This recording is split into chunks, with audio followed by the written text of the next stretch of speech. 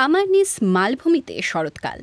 মৌসুমের প্রথম তুষারপাতের পর সুইডেনের আদিবাসী সামি পশুপালকেরা তাদের বলগা হরিণের পাল নিচের উপত্যকায় নিয়ে আসেন। কয়েক শতক ধরে একইভাবে পশুচারণ করছেন তারা। কিন্তু মালিন ব্রেনস্ট্রো বিশ্বাস করেন, এই ধারা শিগগিরই বিলুপ্ত হয়ে যাবে। কারণ লাপল্যান্ডের বনেও এখন পশুচারণের জায়গার অভাব দেখা দিয়েছে। এখানে ভিড় বাড়ছে। অদূর ভবিষ্যতে বলগা হরিণ চড়ানো বেশ কঠিন হয়ে পড়বে। এখানে অনেক রকম বাধাও রয়েছে। এখনই সেটা টের পাওয়া যাচ্ছে. সামিদের পশুর পালের আকারের উপর সরকার নানা ধরনের নিষেধাজ্ঞা আরোপ করছে। সড়ক ও বায়ুবিদ্যুৎ খামারের জন্য রাষ্ট্রের অনেক জায়গা প্রয়োজন। এই বিশাল বায়ুবিদ্যুৎ খামারগুলো কীভাবে আমাদের বলগা হরিণের পালের সঙ্গে মানিয়ে নিতে পারবে সেটাই দেখার বিষয়। এটা বিশাল আকারের প্রকল্প. উপকূলের পথে আরও দুশো তিরিশ কিলোমিটার পূর্বে যেতেই আরও বলগাহরিণ চোখে পড়ল। শরতে এই দৃশ্য অস্বাভাবিক নয়। মার্ক ব্রুকডেনের মতো বিশাল আকারের বিদ্যুৎ প্রকল্প ইউরোপে আর নেই। এটি স্টকহোমের আকারে দ্বিগুণ এবং সুইডেনের আট শতাংশ বিদ্যুৎ সরবরাহ করে। প্রকল্পের লক্ষ্য এখানে এক হাজার এগারোটি টারবাইন স্থাপন করা। সামি আদিবাসীদের ভয় পরবর্তীতে আরও বড় আকারের বিদ্যুৎ প্রকল্প স্থাপন হতে পারে। Eh, আমরা যখন কয়েক বছর আগে মার্ক বুকডেনের অনুমতি পাই তখন দুশো মিটারই অনেক উঁচু ছিল। তবে এখন আমরা আড়াইশো বা তারও উঁচু টারবাইন বানাচ্ছি.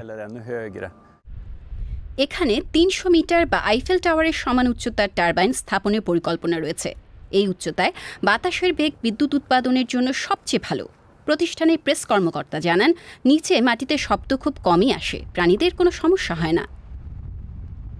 20-tal renar som ligger och sover. আমরা একটি টারবাইনের নিচে বৃষ্টি বলগা হরিণকে ঘুমাতে দেখেছি। সাধারণত বুনো পশুরা টারবাইনের নিচে জড়ো হতে পছন্দ করে কারণ সেখানে বাতাস উপরের দিকে যায়। ফলে বিভিন্ন পোকা বিশেষ করে মশার পরিমাণ কম থাকে. এখন পর্যন্ত পরিকল্পনার এক তৃতীয়াংশ টারবাইন স্থাপন করা হয়েছে। তবে বাকি টারবাইন স্থাপনের সময় যানবাহন চলাচল ও কোলাহল বাড়বে। বলকা হরিণ শান্ত স্থান পছন্দ করে বিশেষ করে বসন্তে যখন তারা সন্তান ধারণ করে. এর দুটো ধাপ রয়েছে। নির্মাণ কাজের সময় ভারী যন্ত্র এবং যানবাহনের শব্দ হয়। এই সময়টা এখানে বলগা হরিণের জন্য উপযুক্ত নয়। কিন্তু পরে যখন টারবাইন চালু হয়ে যায় তখন তাদের কোনো সমস্যা হয় না. দশ বছর আগে স্থানীয় সামি পশুপালকেরা ক্ষতিপূরণ পেয়েছিলেন। ক্ষতিপূরণের সঠিক পরিমাণ প্রকাশ না করতে সব পক্ষই একমত হয়েছিল। আবার ফেরা যাক আমার নিসে সন্ধ্যা ঘনিয়ে এসেছে। মালিন ব্রেনস্ট্রোম নিজের পরিবারের সঙ্গে দিনের শেষ সময়টা উপভোগ করছেন। পেশায় আইনজীবী মালিন সামিদের জমির অধিকার নিয়ে আইনি লড়াইয়ের পথ বেছে নিয়েছেন, জয়ও পেয়েছেন। কিন্তু অন্য এক হুমকির সামনে তিনি অসহায়। জলবায়ু পরিবর্তন এবং ক্রমশ উত্তপ্ত হতে থাকা শীতকাল। শীতকালে বড় সমস্যা। শুরুতে অনেক তুষারপাত হয়, তারপর অনেক বৃষ্টি শুরু হয়। তখন লাইকেনের উপর কঠিন বরফের স্তর তৈরি হয়। লাইকেন শৈবালী বলগা হরিণের প্রধান খাবার। সামিরা এখন উভয় সংকটে। যে জলবায়ু পরিবর্তনে তাদের ভূমিকা নেই সেটি মোকাবিলায় তাদের চারণভূমির অধিকারে ছাড় দিতে হয়েছে। তারা মনে করেন অন্যদেরও ছাড় দেওয়া উচিত। প্রকৃতি আমাদের যা দেয় সেটা নিয়ে আমাদের সন্তুষ্ট থাকতে হবে।